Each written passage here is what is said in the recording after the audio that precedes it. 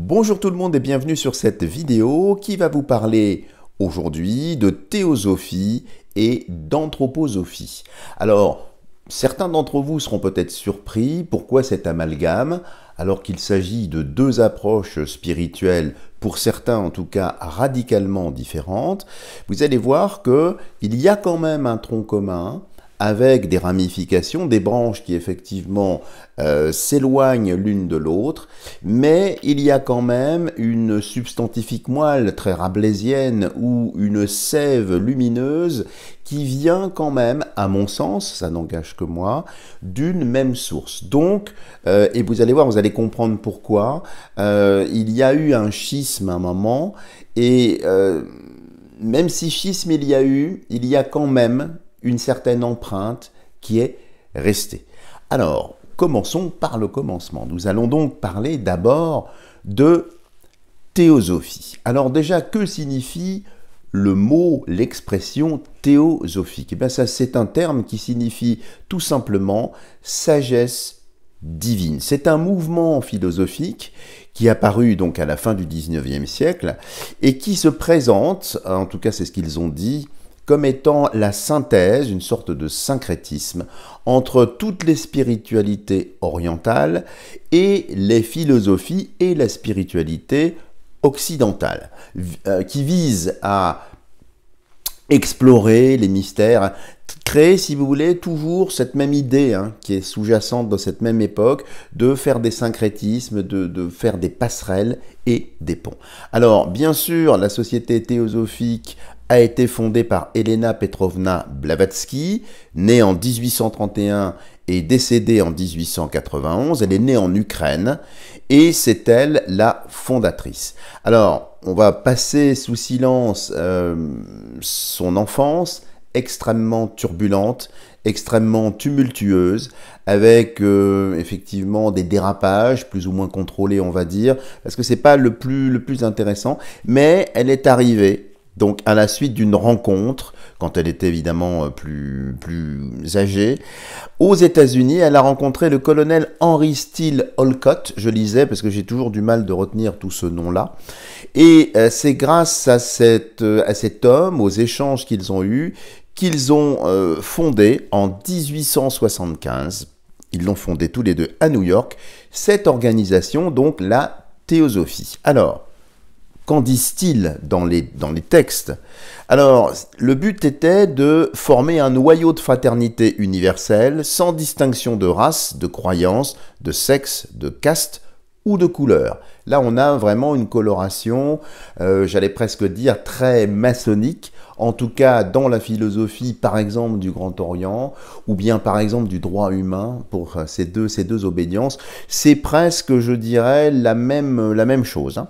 Ensuite, il voulait encourager l'étude comparée des religions, des philosophies et des sciences. Voyez toujours aussi là la volonté de réunir la religion, la science et une certaine doctrine. Donc on n'oppose plus les concepts, on veut effectivement les marier.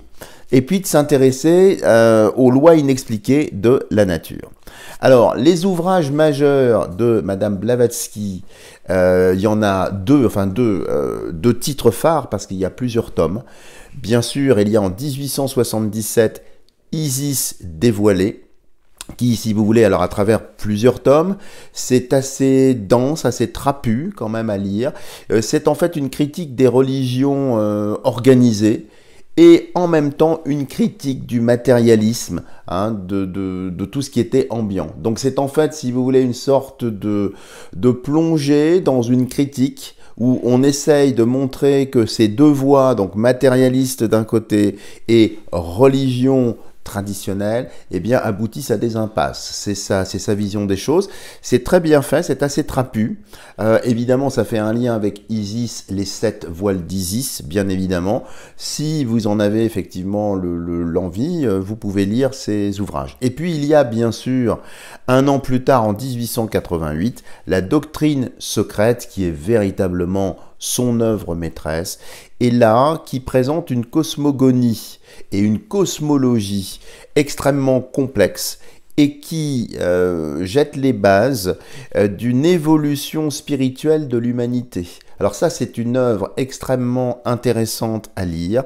Il y a évidemment pour les connaisseurs des liens très très forts avec euh, Max Heindel, par exemple, je pense à ça parce que je le vois là, et la cosmogonie rosicrucienne. Il y a du reste des emprunts. Hein. Il y a aussi des liens très très forts, je vous en parlerai dans une autre vidéo, avec l'Aube dorée ou la Golden Dawn.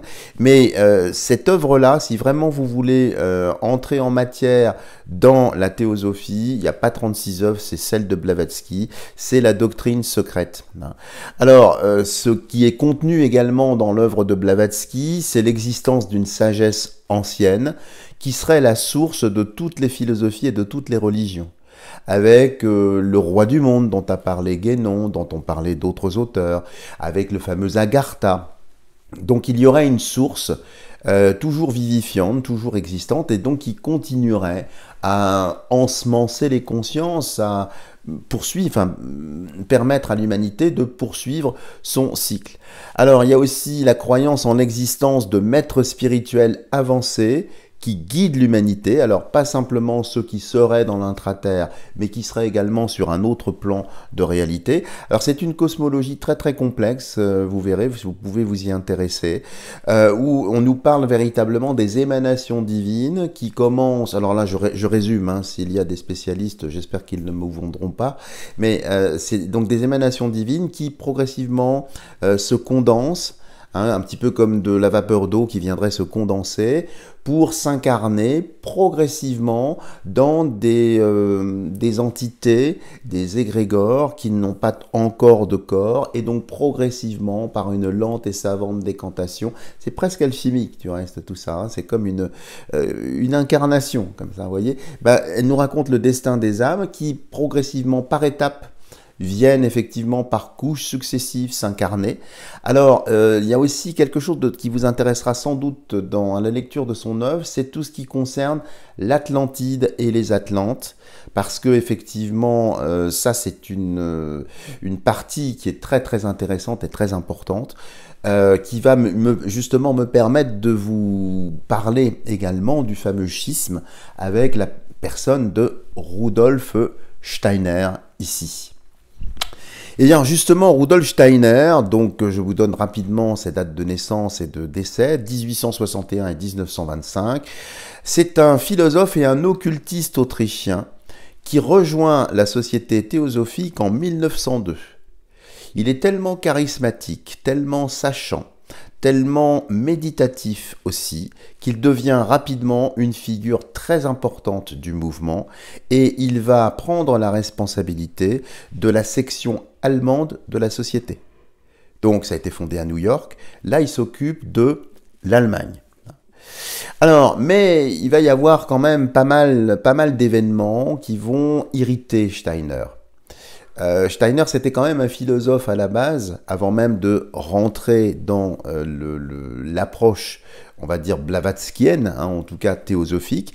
Donc c'est un homme qui a toujours conservé un esprit extrêmement libre. Alors je vais vous en dire évidemment euh, un peu plus. Steiner, lui, est profondément chrétien. Donc déjà, il y a déjà un point d'achoppement ici, parce que lui met l'accent sur une approche plus occidentale et scientifique surtout de la spiritualité. Il s'appuie sur la philosophie allemande et surtout sur le christianisme ésotérique. Euh, qui a été repris par d'autres sociétés beaucoup plus tard, euh, la société du Vril, euh, le Tulé, si vous connaissez, bon, des choses un petit peu plus, un petit peu plus sombres malheureusement qui ont été dévoyées. Hein. Il y a aussi surtout la christologie, on peut dire chez Steiner, contrairement à la vision occidentale de la théosophie, Steiner accorde une place centrale à la figure du Christ dans sa conception spirituelle. Pour lui, euh, tout passe par le Christ. Il ne peut pas y avoir d'autres... Euh, d'autres avatars ou d'autres émanations. Alors, ce qui a fait beaucoup critiquer effectivement Steiner euh, à son époque. cela étant, je vous invite quand même à vous plonger dans ses écrits. c'est quand même quelqu'un d'extrêmement intéressant, à plus d'un titre. Je vais vous en dire un peu plus. Alors, surtout, Steiner a mis en place Alors c'est lui qui a fondé le mouvement de l'anthroposophisme, hein, l'anthroposophie, alors qu'il ne voulait pas opposé au théosophisme. Hein. Comme je vous ai dit, c'est le même tronc, mais des branches qui se scindent. Alors, que veut dire l'anthroposophisme? Donc, anthropos en grec, c'est l'homme, et sophie, sophia, sagesse, la sagesse de l'homme.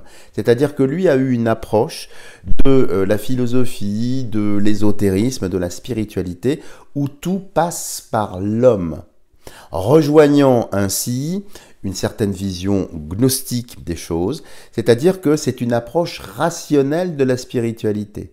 Ça n'est pas développer une croyance, ça n'est pas adhérer à une doctrine, c'est aller puiser au très fond de soi des ressources, une sorte de terreau, de sève lumineuse qui, une fois bien comprise, bien travaillée, va permettre une autre floraison. Et justement, Steiner va développer des techniques spécifiques très intéressante pour la méditation et le développement spirituel.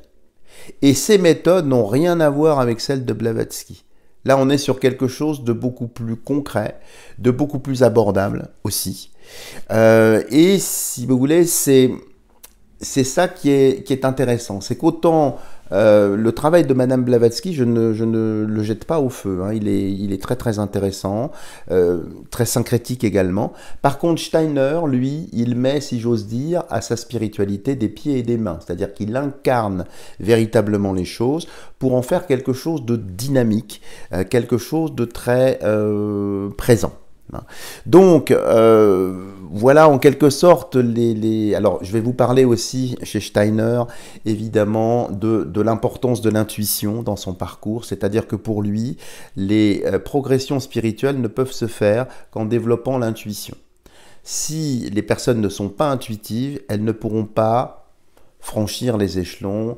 Euh, alors les échelons, on en parlera parce qu'il n'y a pas vraiment de grade euh, ou de degré euh, dans l'approche de, Steiner, mais il y a une, une, dilatation progressive de conscience. Donc je vous invite vraiment à lire les écrits de Rudolf Steiner qui sont très très bien. Alors qu'est-ce que l'on peut dire de l'anthroposophie? Alors là, je suis extrêmement synthétique. Déjà, c'est une vision tripartite de l'être humain corps, âme, esprit, et de la société, qu'il segmente en vie culturelle, vie juridique et vie économique. Tiens, ça vous rappellera peut-être l'approche de Saint-Yves d'Alvèdre, par ailleurs. Ensuite, une méthode de développement spirituel basée sur la pensée claire et la méditation. C'est-à-dire qu'il a une technique de méditation consciente. C'est pas une méditation inconsciente. C'est une méditation de pleine conscience. Et en fait, toutes les personnes New Age qui ont repris cette acception, cette appellation méditation de pleine conscience ici, eh bien, euh, ça vient directement de Rudolf Steiner. Ils n'ont rien inventé. Ils se sont encore une fois appropriés un héritage qui n'a rien à voir avec eux.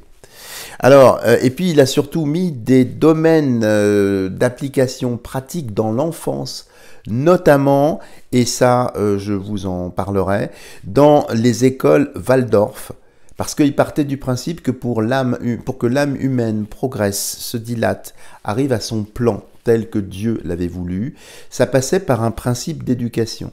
Et aujourd'hui, bien sûr, quand nous regardons euh, tout ce qui se passe autour de nous, euh, cette mainmise plus ou moins euh, appuyée sur nos petites têtes blondes, on va dire, dans le but de les endoctriner ou bien de vouloir les façonner dans une direction qui ne serait pas spécialement celle du soleil, pour dire les choses avec une certaine élégance, eh bien, il avait parfaitement raison. Mais il n'a pas fait que ça, Rudolf Steiner.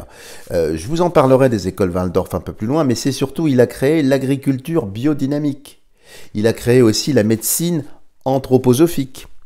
Et puis, euh, il y a en art, il a créé cette, cette chose très importante qu'on appelle l'eurythmie, euh, basée sur l'architecture organique. Alors, il y a une anecdote aussi qui intéressera peut-être plus euh, le, public féminin qui me suit, qui mérite d'être euh, mentionné ici. Rudolf Steiner, beaucoup l'ont oublié aujourd'hui, était le cofondateur des laboratoires Oishka en 1935 en Allemagne. qui existe d'ailleurs toujours. Le docteur Oshka continue du reste d'appliquer dans la création euh, de, de, ces produits les principes de médecine anthroposophique développés par Steiner. Alors, pour votre complète information, ces principes médicinaux utilisent un procédé de conservation d'extraits de plantes médicinales sans avoir recours à l'alcool, qui fut remplacé par, je cite Steiner, la force naturelle des polarités et l'alternance rythmique entre lumière et obscurité, et les principes alchimiques en découlant, c'est-à-dire le chaud, le froid, le sec et l'humide. Alors, particularité rare pour être soulignée, les plantes filtrées se voient ajouter de la cendre. Autre principe alchimique dont je vous parlerai possiblement euh, lorsque mon livre sur l'alchimie sortira. Mais il y a aussi quelque chose, cela a donné le nom du fameux laboratoire Vala, qui existe encore. Ça s'écrit W-A-L-A. Et ça, c'est un acronyme. Les gens ne le savent pas. Qu'est-ce que ça veut dire? Alors, c'est de l'allemand. W, c'est Warme pour la chaleur. A, c'est H pour les cendres. L pour Licht, lumière. Et H normal pour, les, cendres, encore une fois. Donc, les laboratoires Vala deviendront par la suite les laboratoires Oshka et qui continuent aujourd'hui de respecter le cahier des charges de Steiner. Et ces produits, si vous les connaissez, alors je, vous avoue que je suis client chez eux, alors pas pour la totalité, mais pour certains produits spécifiques, c'est, je vous avais parlé des hydrolats également par ailleurs, donc vous comprenez pourquoi toutes ces, toutes ces choses-là sont très importantes. Parce que ça provient d'un terreau beaucoup plus pur, d'une dynamique beaucoup plus pure. Hein. Donc c'est important, de, euh, à mon sens, hein, de s'y intéresser. Alors, est-ce qu'on peut faire des points communs euh, avant, avant de parler effectivement de, de, schisme véritable Est-ce qu'on peut faire un point commun ou opposer les concepts? Alors, euh, il y a quand même des points communs. Il y a une vision spirituelle de l'univers et de l'être humain, avec une dynamique, une progression. Il y a, et ça les deux sont d'accord là-dessus, une croyance, appelons ça comme ça, dans la réincarnation et le système du karma. Tant en théosophie qu'en anthroposophie, c'est la même chose. Surtout les deux professent, si on peut dire la même chose, une importance capitale au développement spirituel individuel. L'être humain, pour s'accomplir, pour se réaliser, se doit de alors j'aime pas l'expression travailler sur soi, mais tout au moins être dans une dynamique, border la voile de sa conscience pour que le vent de l'esprit les entraîne donc sur des rivages un peu plus élevés. Et puis euh, il y a aussi une volonté syncrétique d'intégrer les éléments des traditions spirituelles. Alors, il y a aussi évidemment euh, des, différences. On peut, on peut en parler. Je vais peut-être pas entrer dans le, détail. Mais avant de euh, vous parler un petit peu des écoles Waldorf, qui sont très intéressantes de Steiner ici aussi, je dois évoquer une autre figure que certains d'entre vous connaissent bien, que j'avais citée dans mes vidéos si vous me suivez, c'est Jidhi Krishnamurti. Parce que Krishnamurti, évidemment, a eu euh, un rôle, enfin, il a été peut-être un peu le, dindon de la farce de la théosophie. Puisque en 1909, Leadbeater, qui était une figure euh, éminente de la société théosophique aux États-Unis, découvrit le jeune Jiddu Krishnamurti qui était alors âgé de 14 ans sur une plage de Adyar en Inde. Alors malgré son apparence chétive et son air absent, un peu rêveur, Leadbeater fut immédiatement frappé par son aura exceptionnelle, qu'il décrivit, je cite, comme la plus merveilleuse et la plus pure. Alors, quand Madame Blavatsky est décédée, la suite a été reprise par un autre personnage à la théosophie qui s'appelle Annie Bézant. C'est une femme qui était euh, médium, euh, qui avait quand même certains, talents, il faut le reconnaître en toute objectivité. Alors, Annie Bézant, alors présidente de la Société théosophique, pardon, fut rapidement informée de la découverte donc du Krishnamurti. pardon. Alors, elle adopta légalement Krishnamurti et son petit frère euh, Nitya. Elle les amena en Angleterre pour superviser leur éducation et leur transmettre, bien sûr, les principes théosophiques. Mais c'est là où les choses commencent, à mon sens, à déraper. En 1911, Annie Besant annonce publiquement que Krishnamurti est le véhicule, la réincarnation du Seigneur Maitreya, c'est-à-dire Jésus. Alors, des signes ont été rapportés. Krishnamurti a eu des visions mystiques. Des phénomènes paranormaux se seraient passés également en la présence de Krishnamurti. Et puis sa capacité supposée à se souvenir des vies antérieures. Donc cela, émane, cela a poussé à la création d'un ordre, si on parallèle à la théosophie, qui s'appelle l'ordre de l'étoile d'Orient en 1911, euh, parce que la théosophie attendait un Messie, un retour, le retour du Messie. Et Jiddu Krishnamurti, eh ben c'était, tout à fait lui. Donc on l'a éduqué, elle l'a façonné, elle lui a, elle l'a paramétré pour devenir, en quelque sorte, eh bien le chef de l'ordre. Et Krishnamurti est devenu, il faut le, dire, tellement charismatique que l'organisation euh, a multiplié le nombre des adhérents. Ils sont passés à 60 000. Ça commençait à essaimer. Il y a eu même une école en France. Les choses commençaient à prendre une certaine ampleur dans plus de 40 pays. Et c'est là où Rudolf Steiner a dit stop, c'est trop pour moi. Parce que là, ça sent la secte. Là, euh, même si Krishnamurti et lui ont eu des, rapports, pas toujours très faciles, il faut bien le dire. Euh, du reste, Krishnamurti, pour la petite histoire, lui-même, euh, a fait sécession après. Il a claqué la porte en disant non, non, je ne suis pas un pion, je reprends ma souveraineté, je reprends ma liberté.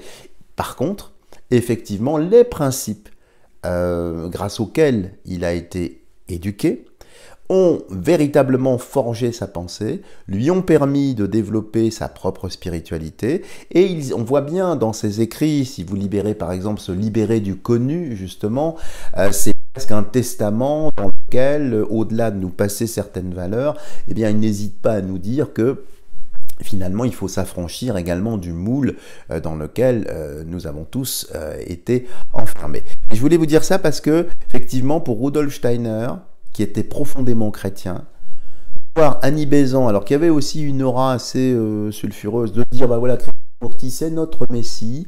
Bon, ça sentait un peu trop la secte, et pour euh, Rudolf Steiner, ça, ça passe pas du tout. Parce que lui, il a une approche euh, de la spiritualité extrêmement rationnelle, et même si, bien sûr, il a foi, en Jésus-Christ, il n'y a aucun problème là-dessus, il a une approche différente, c'est-à-dire que le Christ doit naître en nous, à l'intérieur de nous. Du reste, dans ces exercices, si vous vous y intéressez, c'est exactement ça. Donc, c'est faire descendre l'esprit en nous. On retrouve encore une fois une approche alchimique, où on fait descendre, si on peut dire, quelque chose de mercuriel, on fixe un esprit, on le fait descendre. Donc, de voir cette dérive, ça a été euh, très très difficile en fait pour Steiner. Alors, je vais vous donner euh, euh, quelques petites pistes sur l'initiation, euh, les étapes d'initiation plutôt de Steiner. Alors, le point numéro un, c'est l'éveil de la conscience par la prise de conscience de sa propre spiritualité, de sa propre individualité aussi. Le deuxième point, c'est stimuler l'imaginaire, l'imagination. Parce que c'est développer la capacité de percevoir aussi des forces éthériques. Et Steiner insistait là-dessus, sur le fait que l'imagination, il y a une partie qui nous appartient, mais une partie qui ne nous appartient pas. C'est-à-dire que quand, et les créatifs le savent, quand on fait fonctionner un petit peu la partie créative, eh bien sans le vouloir, on s'accorde avec un champ informationnel plus vaste qui permet la rencontre d'informations comme ça. Donc ça, c'est très important. Le troisième point pour Steiner important, c'est l'inspiration. C'est la capacité de percevoir le monde astral et les entités spirituelles. Ça, c'est la troisième marche chez Steiner. Et la quatrième, je vous parlais, c'est bien sûr l'intuition, la connaissance directe de toutes les réalités spirituelles. Le temps abolit son espace. Donc vous voyez, quatre marches. éveil de conscience, imagination, inspiration et l'intuition. Ce qui veut dire que les personnes qui souhaitent euh, avancer dans la spiritualité, d'après Steiner, hein, attention, je ne suis pas en train de dire de notre Dieu Steiner, c'est lui qui a raison. Non, je trouve que son approche, euh, si vous me connaissez un petit peu, vous savez un peu que euh, j'aime qu'on ne fasse pas n'importe quoi. Et l'approche de, Steiner, c'est une foi raisonnée, raisonnable, hein, comme le disait Pascal, le philosophe, et les méthodes qu'il propose, c'est pas du gloubi-boulga, c'est pas du New Age, hein, c'est pas du, n'importe quoi.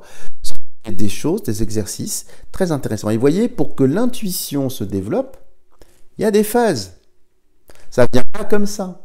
Alors, personnes qui ont la chance d'être, euh, d'avoir le donum dei, comme on dit en alchimie, donc d'avoir le don de Dieu, d'être touché par la grâce, très bien.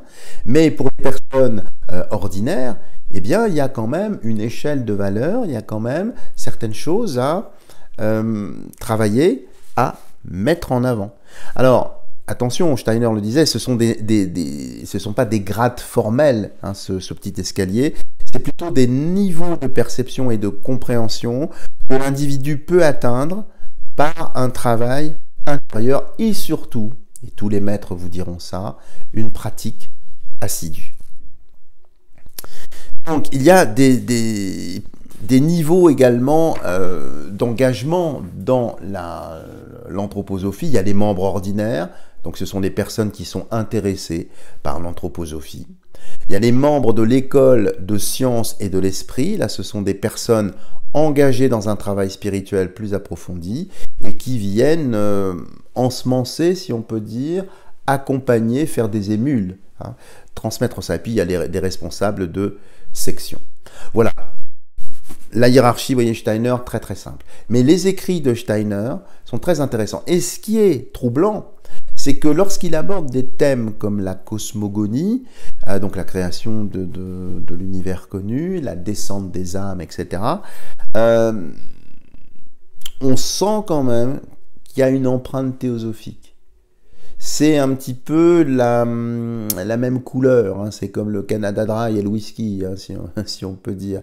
Donc, même s'il s'en défend, il y a quand même euh, quelque chose qui s'y apparente. Maintenant, lui a une approche beaucoup plus rationnelle que Blavatsky. Ou Blavatsky, alors c'est déjà très très complète chez, chez Blavatsky.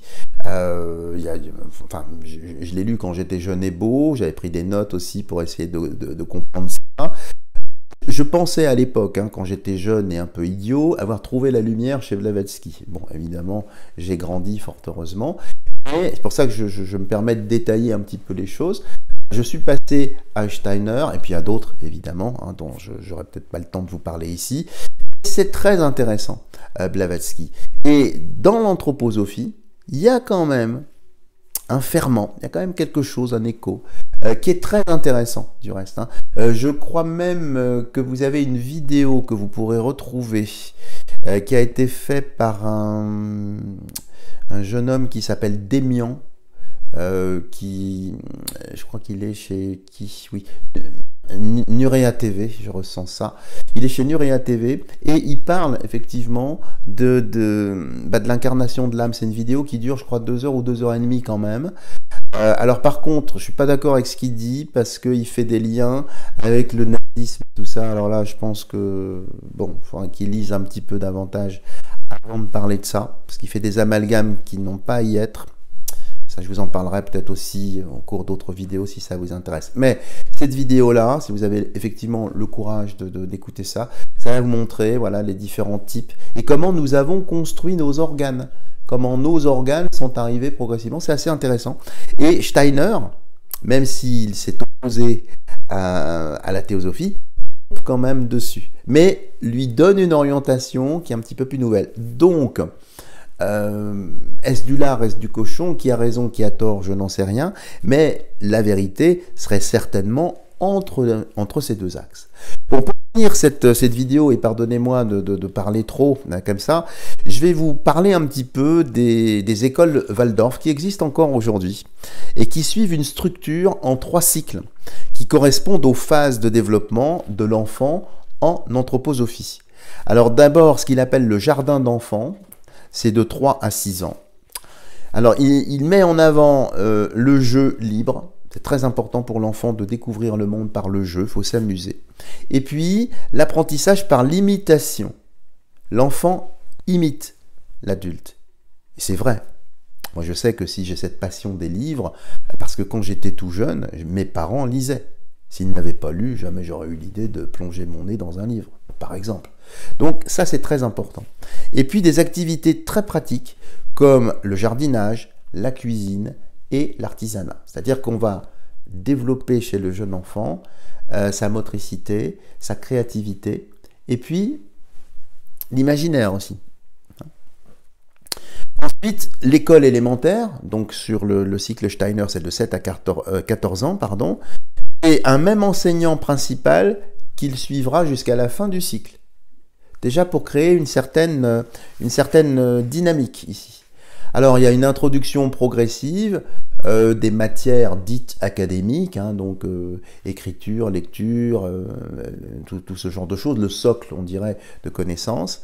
Mais il y a une dominante, une importance particulière qui est accordée aux arts, à la nature et au ressenti aux émotions, aux émotions picturales, aux émotions sonores, aux émotions immergées dans la nature. Donc on développe là ce qu'on appelle le kinesthésique, la partie ressentie.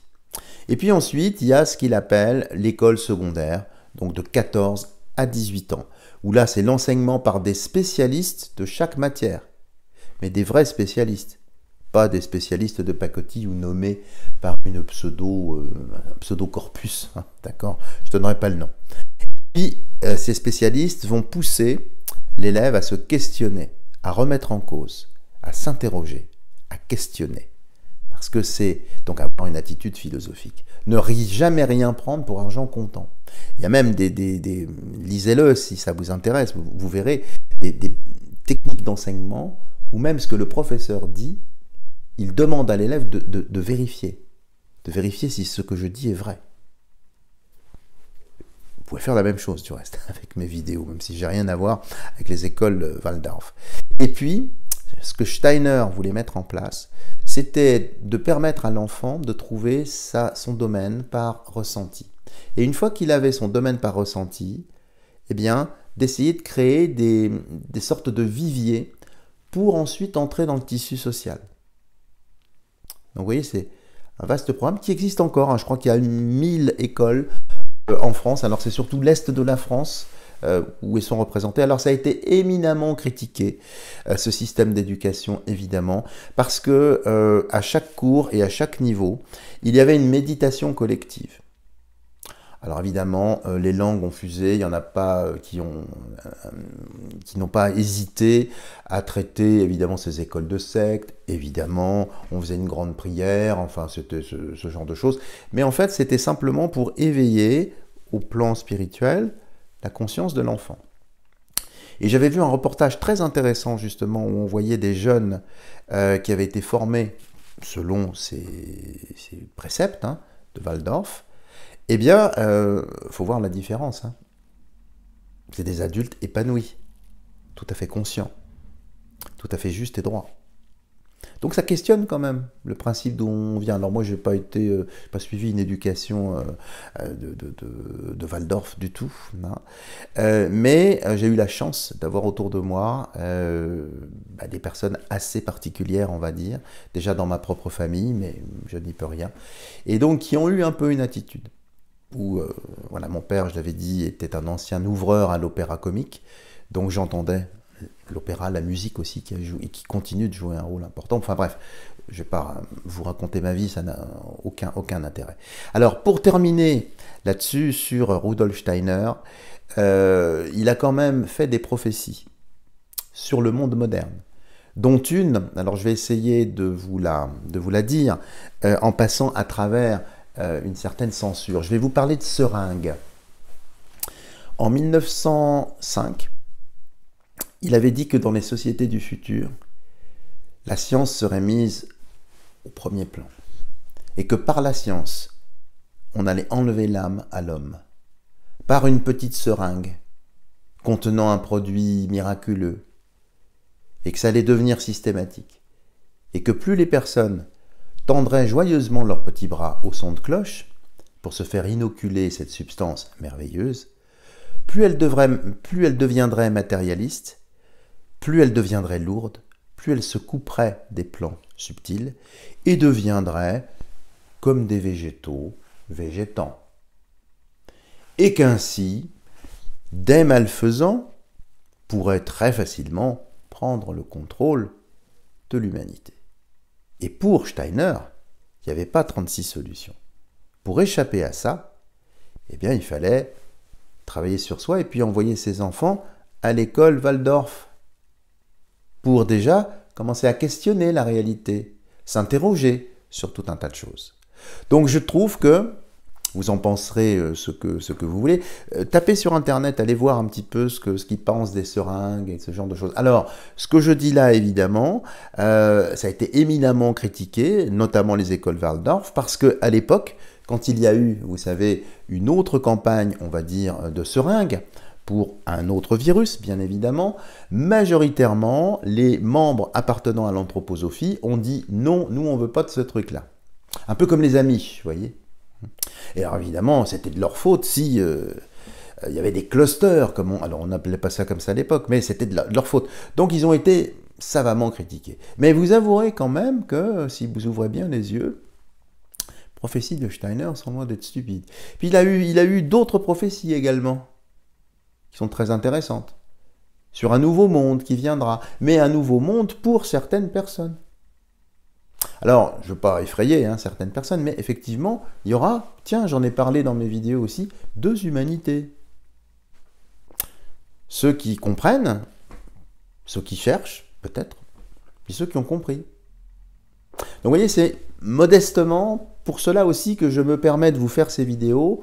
Euh, c'est pas pour étaler ma science, parce que j'ai aucune science, je, suis, je suis un ignorant. Mais c'est pour vous permettre, peut-être par contagion, par émulation, sait-on jamais, eh bien de vous documenter, de vous intéresser pour grandir et passer sur autre chose. Voilà les amis, merci de votre patience. Pardon parce que j'ai été un petit peu fouillis dans cette, euh, vidéo-ci, je, m'en excuse. Je demeure à votre entière disposition si vous souhaitez euh, peut-être avoir des conseils de lecture ou bien peut-être même faire un tirage personnalisé euh, de tarot, bien évidemment.